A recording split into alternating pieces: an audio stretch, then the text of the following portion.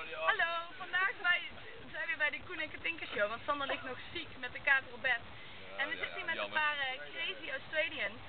en eh, we gaan ze een liedje leren. Yo, daar gaan we dan. Daar boven op die berg. Daar boven op die berg. Daar zat een Chinees. Er zat een Chinees. Die maakt kapotjes. Je maakt kapotjes. Van rendierenvlees. Van